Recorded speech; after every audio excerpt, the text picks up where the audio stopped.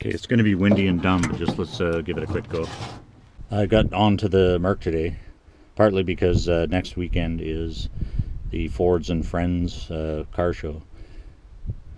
If I can make this run to my satisfaction and also drive to my satisfaction, I might make that attempt. It'll depend on how much I can grow my uh, iron balls, which right now is pretty on the low. So, uh, I was having problems with the points continuously. So I switched over to a Pertronix uh, electronic uh, distributor system, which I've used in all of my um, Dodges. And they have treated me well. No maintenance. It's just freaking awesome. Um, but I also replaced all the wires today because the new system requires different resistance on those.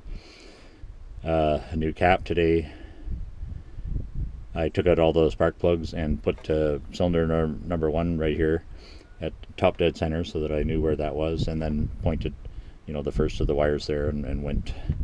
Now I did wire it wrong because I just was under the assumption that Ford engines went clockwise.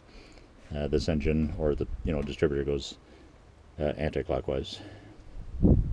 So I did have to rewire the firing order. I still have the dilemma of which of these two wires is, used to be the ignition switch because both of these are custom wires and certainly not what came with the car. So I think I've determined that it's this broken gold wire here that is uh, um, what recognizes the uh, activation from the ignition switch. So uh, I am going to have to repair that because it's broken in multiple places real bad. I'm surprised it ever worked. And uh, this blue one I learned might be coming from the overdrive system that has some kind of solenoid or some kind of thing that activates when you press the button on the floor. Don't know much about that. I don't intend to ever run this, and they, they actually say if you're going to hook this back up, you got to put a 5 ohm resistor or something in there. I'm leaving it off for now. I don't intend to ever activate that system. So anyway, yeah, a lot done. I didn't have uh, plugs to replace, so I just put them all back in. They were okay. A little bit carbony, but not bad.